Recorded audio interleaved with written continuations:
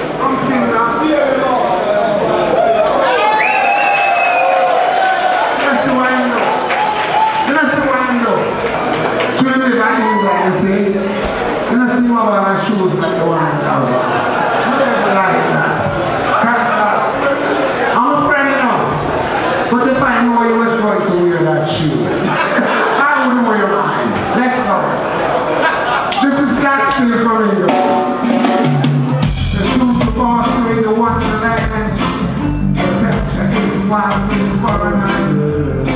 I'm in Toronto tonight. Now you learn what? What can you do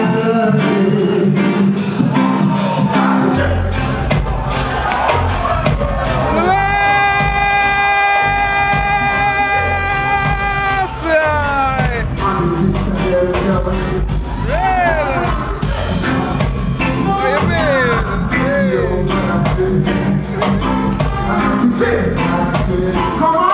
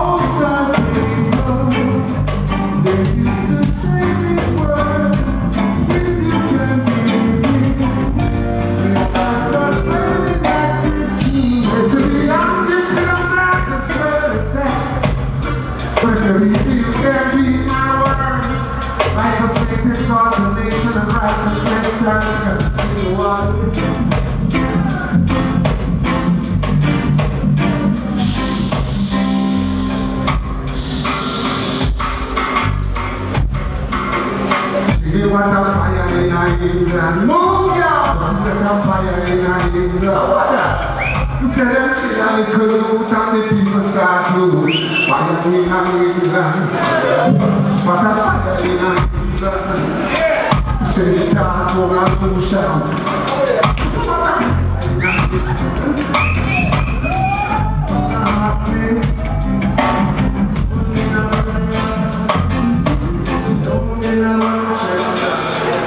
The Prime Minister was on to cut it short.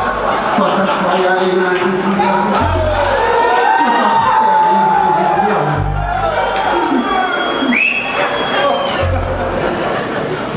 I know you're feeling Mrs. Queen. Say, I know you're feeling Mrs. Queen.